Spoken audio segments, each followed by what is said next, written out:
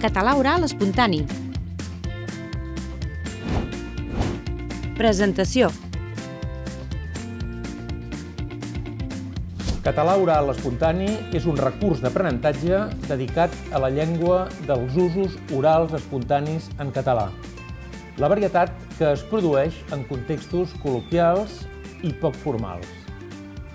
Ens referim a una varietat de la llengua no planificada, no controlada, la que fem servir quan parlem sense pensar gaire o gens en la llengua.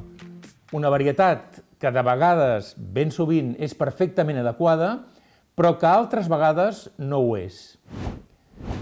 Català oral espontani ha estat creat pel Servei de Llengües de la Universitat Autònoma de Barcelona, pels Serveis Lingüístics de la Universitat de Vic i pel Servei de Llengües de la Universitat Abat Oliva i ha gaudit d'un ajut interlingüe de la Generalitat de Catalunya.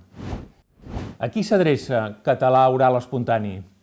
Està pensat sobretot per a un públic el dels futurs i les futures mestres i ensenyants, per bé que pot ser útil a comunicadors o altres professionals de la paraula i també a estudiants dels nivells més alts de llengua catalana.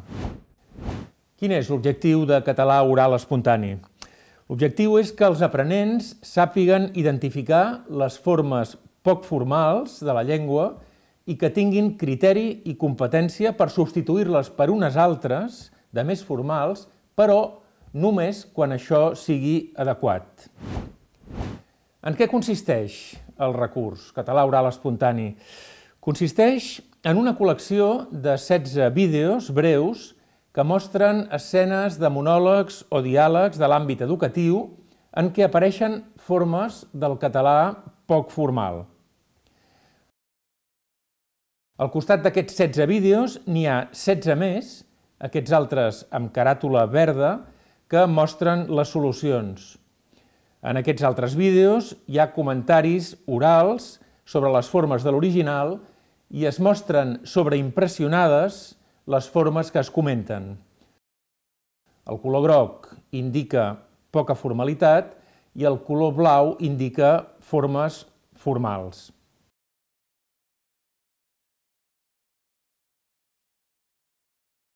Al llarg dels vídeos apareixen una setantena de fenòmens de la llengua oral espontània, que corresponen als àmbits de la fonètica, de la morfosintaxi o del lèxic. Cadascun d'aquests fenòmens s'explica breument en una fitxa en una altra secció del web, de manera que l'aprenent pot consultar en qualsevol moment els vídeos o aquestes fitxes de contingut. L'últim component de català oral espontani és una proposta didàctica.